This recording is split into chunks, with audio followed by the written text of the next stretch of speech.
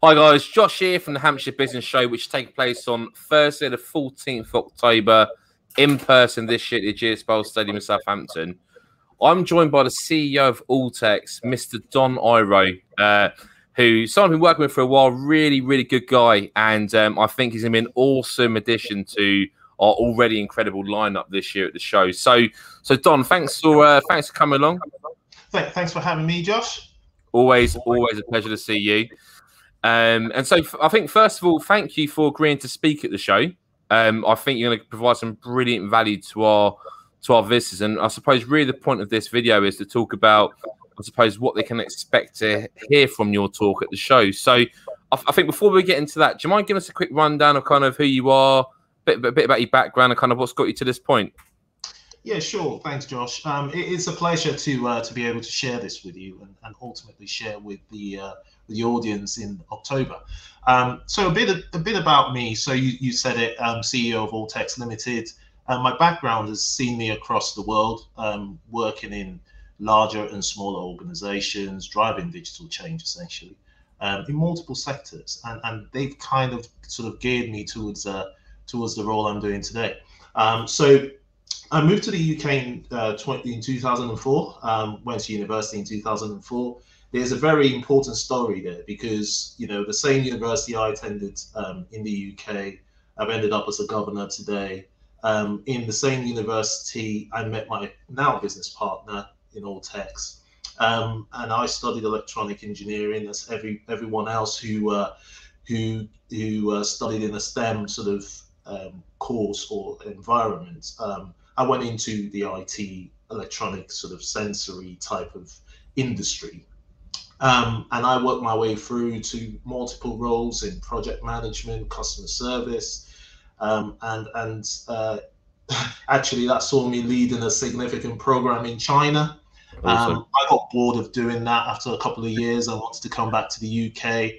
Came back to the UK to work for a large system implementation business and that's where I bumped into Toyin again, who's my business partner. And uh, long story short, we ended up um, partnering with Alltex.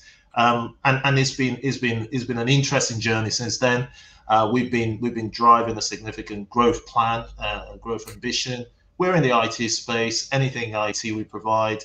Um, but for me, what's more important now is that you know I'm, I'm playing a role in in you know growing a business, growing people, right? Growing a culture and driving a very, very important message, which is, you know, you can you can really achieve whatever you want to achieve if you focus on on uh, on the positives, right, and, and drive that through an organization.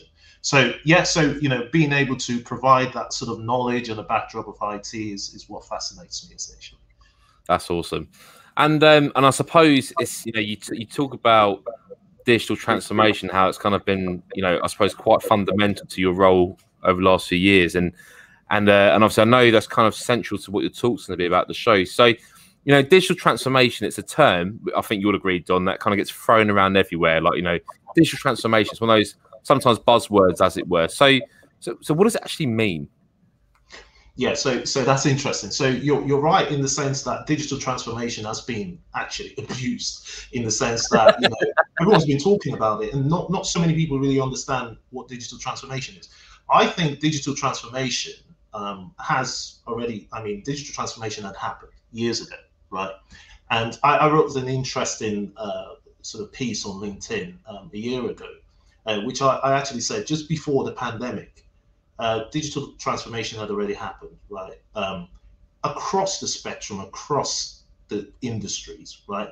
So today we're talking on a video call, um, yeah. you know, video conference. It, these things already existed, right? I think it was all about people waking up to to embracing it, right?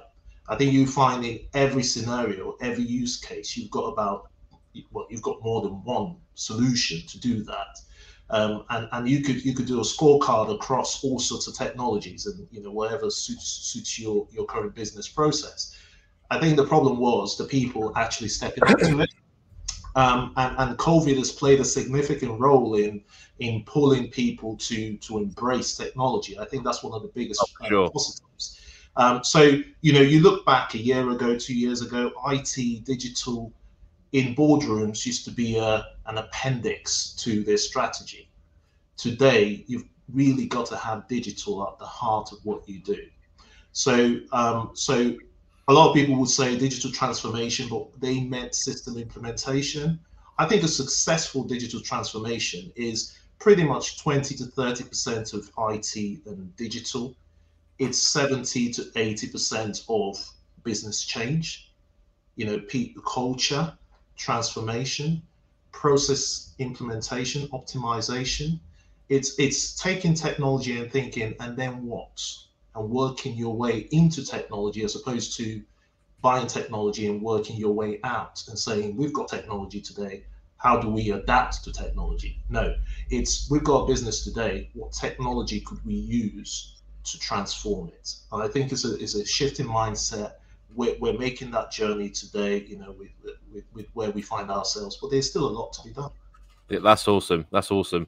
And I suppose a lot of what you said there is gonna is gonna tie into what's kind of gonna I suppose gonna be the the uh, the foundation of your talk, right? So do you want to kind of I suppose give us a, a, a slight summary or, or, a blurb, as it were, for, uh, for, for what our visitors can expect on there?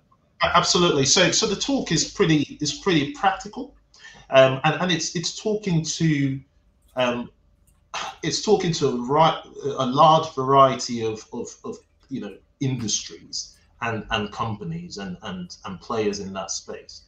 Because uh, I, I see four categories, you know, in in this sort of box of digital and transformation, if you like. So at the top end, you've got organizations that have really um, harnessed the, the, the value of technology.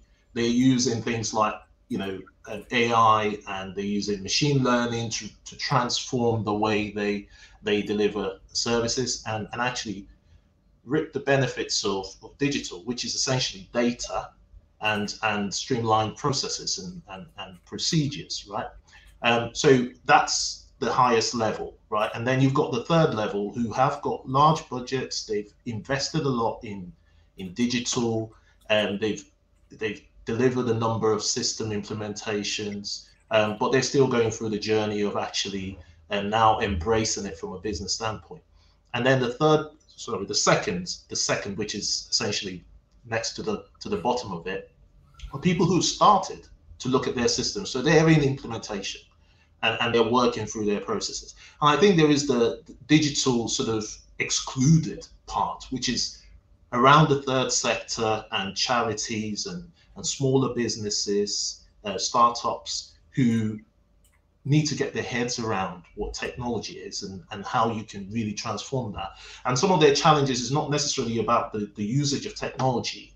It's in some cases about the um, the time, you know, yeah. just the time to, to understand the, the value of technology and how they can utilize it to achieve their goals. And what this would actually help you, and I, I'm hoping people can actually benefit from this, is is the it's kind of a blueprint to to lift and shift into your organization to look across your ecosystem look across your business space and kind of go right how do i get quicker to the customer more efficiently using the resources and the tools that i currently have?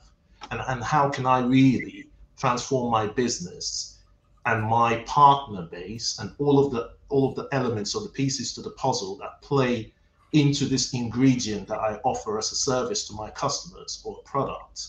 How do I bring that together, harness that with technology and consulting, and achieve a greater goal? And that greater goal could be more efficiency, it could be better products, it could be a better roadmap, it could actually be you know in some cases it could be innovation it could be a, a, bit of r&d a bit of co-collaboration with a bunch of other people um, and, and it's really giving people the blueprint to be able to uh, to to excel using digital. Don, that is an absolutely awesome uh, kind of description of what, what our visitors can expect at the show. I, am looking forward to it, to be fair. So I'm going to make sure that I pigeonhole myself that that 30 minute slot to make sure I come along and see.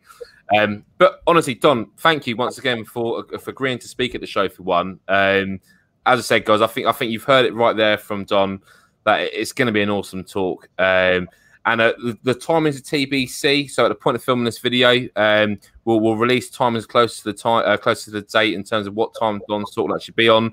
Uh, if you've not registered for your free ticket yet, head straight up to hampshirebusinessshow.com. It's completely free to attend. Network, collaborate, upskill. Uh, Thursday the 14th of October. We'll look forward to seeing you. Don, thank you so much for your time. Thank you, Josh. Cheers. Bye.